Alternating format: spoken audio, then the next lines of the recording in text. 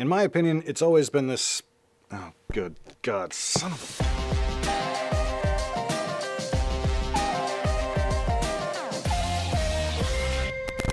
Let's start with the elephant in the room. Tin whistles are cheap. It's meant to be a cheap way to get started playing music, and that's a great thing. You can get them for like 10 bucks.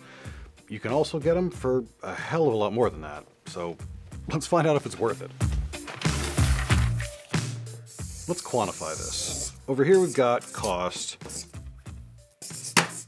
and let's start with the $10 range, like Generations, Clarkes, Feadogs, whatever. There's differences between them, but they're all mass produced, they all have close to the same reliability, so really it's just a matter of which foibles you like and which you don't. So let's call this line the quality scale, and we'll go from nah to holy crap. And these guys go somewhere over here. As well they should. They're only 10 bucks, basically, and you get what you pay for. Nothing wrong with them at all.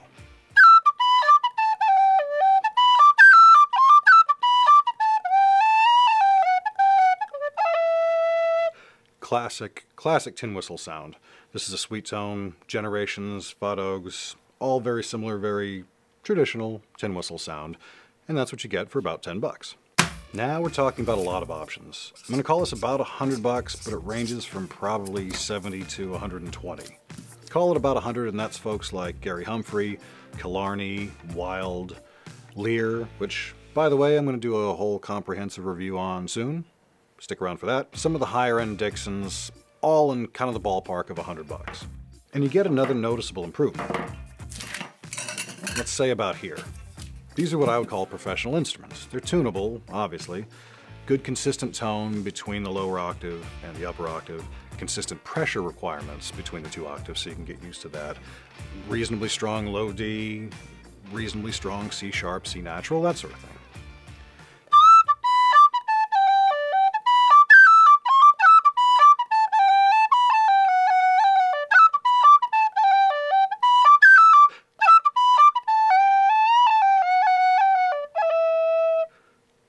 Always like playing that. At this point, it's down to weight, balance, looks, the type of tone that you get, because there are differences between the makers, but what is going to be consistent about anybody at this level is that they're always going to be a high quality, reliable instrument. So what happens if you spend more?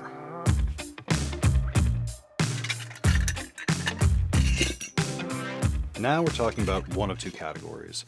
New ones that are running 250 to 350, 400 dollars and up from folks like Burke, John Sindt, Sentant, Setanta, Setanta, Setanta, or old ones. Great whistles for sure, but additionally valuable just because they're so rare.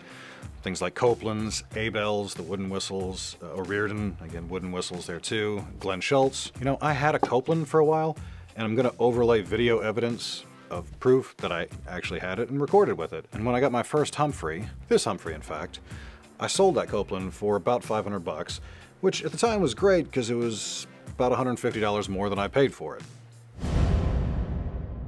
Don't, just pull yourself together. $1,500 for a whistle, that's a little crazy. They're great, don't get me wrong. Copeland's in particular are fantastic whistles, and I wish I still had it, if only so I could work it into this video. But I can remember as clearly as the day my kid was born, when I got this Gary Humphrey whistle, I thought, well, I don't need this one anymore, and I sold the Copeland.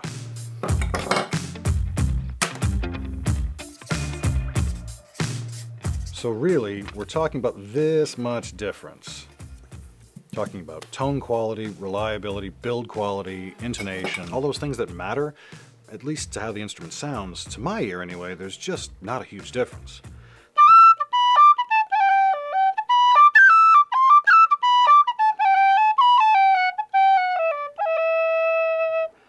Do you think? Is there a couple of hundred dollars there between the Humphrey?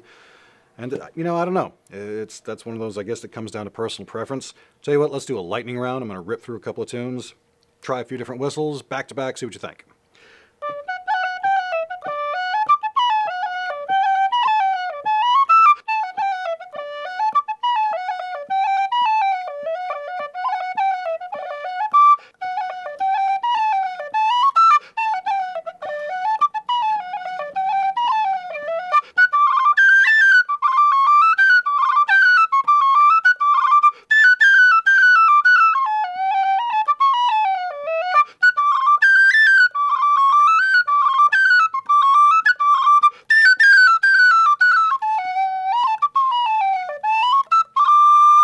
So how much difference do you pick out of all that?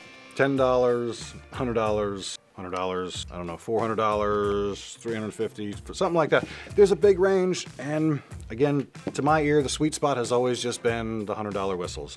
This, the Killarney, the Wild, they're all in that category. They're gonna give you everything you're gonna need. There's nothing you're gonna get out of something more expensive that's kind of like a deal breaker, a make or break kind of thing. There are advantages to this. This is probably a little bit more consistent,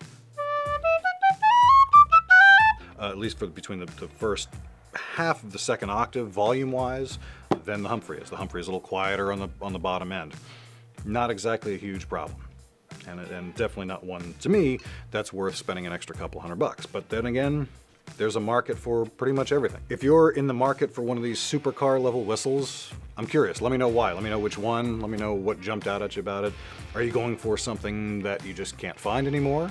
because I could certainly understand the appeal of that. Uh, again, I do wish I still had my old Copeland back just for that nostalgia purpose. If you're interested in those, let me know. Let me know what you think, and let me know what you think about the take on this. Where's the sweet spot to you? All right, that's a lot of stuff to ask. I'll see y'all in the next one, guys. Cheers.